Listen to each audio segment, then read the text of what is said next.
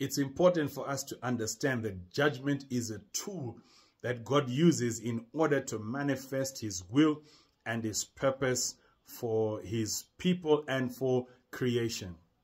When we look at the story of the children of Israel when they were in Egypt, God executed judgment against the Egyptians in order to establish his will. God's will was for their freedom. God's will was for their prosperity. God's will was for their elevation.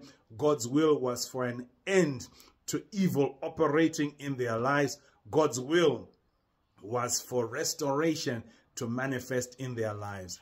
And in this time that we are entering in, there is a flow of judgment that is taking place. Judgment flowing in families, flowing in bloodlines, flowing in communities, flowing in lands. Judgment is flowing in Zimbabweans. And it's important for us to understand that God wants to use judgment in order to open doors for us. He wants to use judgment to bring to an end evil cycles, evil processes, the domination of witchcraft in our families, the same way he ended the domination of witchcraft in Egypt. God also wants to use judgment to bring an end to the powerful forces that have kept us caged and stopped us from reaching the heights that we are supposed to reach. God also wants to use judgment to open up places and spaces for us to thrive, for us to prosper.